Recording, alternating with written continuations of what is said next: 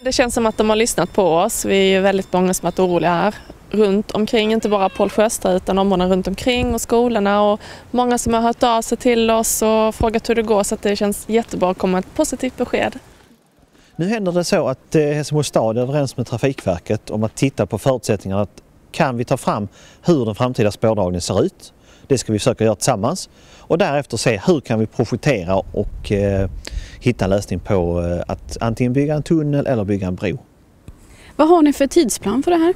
Det får man titta på nu. Vi tror att inom det närmaste året så kan man försöka se om man kan hitta eh, läget för ett dubbelspår.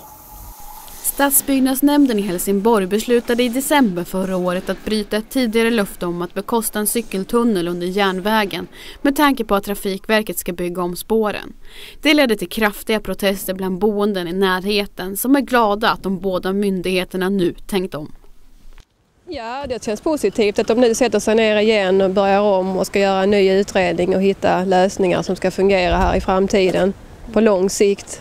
Är ni nöjda med de besked ni fick idag? Ja, det är vi.